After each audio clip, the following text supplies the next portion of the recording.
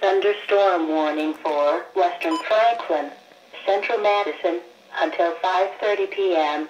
At 4.48 p.m., radar indicated a severe thunderstorm capable of producing quarter-size hail and winds to 60 miles an hour. This storm was located near Newport, moving east at 25 miles an hour.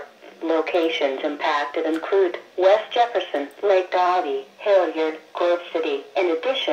Madison Lake, Big Plain, Lilly Chapel, Wrightsville, Darbydale, Georgesville, Valley View and Durbin Crest are near the path of this severe thunderstorm. This includes the following interstates. Interstate 70 between mile markers 81 and 96. Interstate 71 between mile markers 92 and 102. This storm has a history of producing large hail and damaging winds.